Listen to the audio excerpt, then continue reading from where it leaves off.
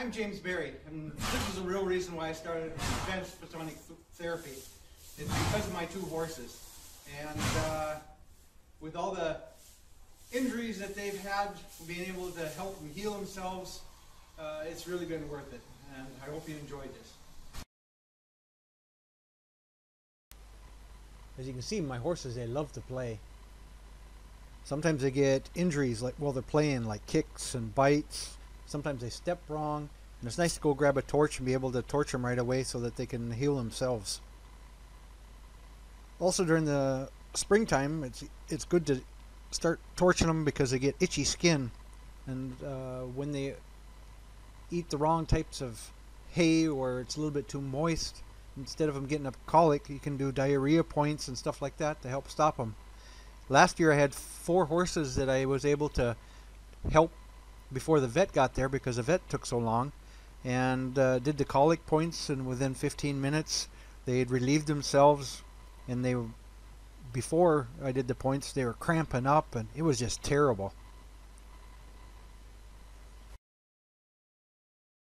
I had a dog that was with four different vets over two years of time and he kept biting himself.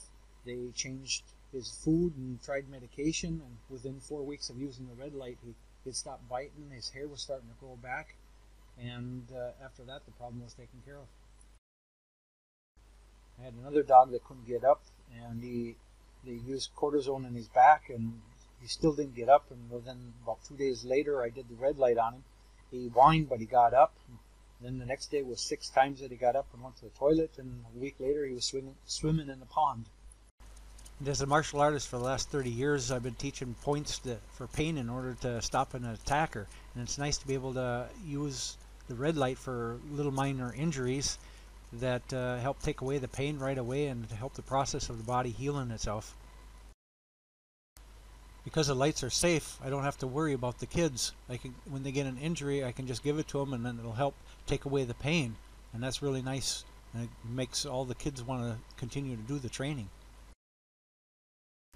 The way that Eva does her classes with uh, issuing a, a module each couple of weeks, it lets you to read through the material and understand it, ask questions, um, later she does videos and checks all your points to make sure you're doing it correctly. And it's been really a good experience to learn. Thank you, Eva.